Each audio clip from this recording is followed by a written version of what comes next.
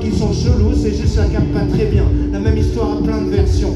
La meilleure façon de sortir d'une embrouille, c'est poser des questions. Arrête de passer ta vie à fuir, angoissé par l'avenir, parce qu'il n'y a rien à faire pour se préparer au pire. Comme les attentats, les mauvaises nouvelles frappent quand tu attends pas. Des proches un peu pressés partiront avant toi. Tu verras des gens heureux prendre un appel. Leur visage se décompose et rien part être présent. Penser les plaies, changer les pansements. Le seul remède, c'est le temps.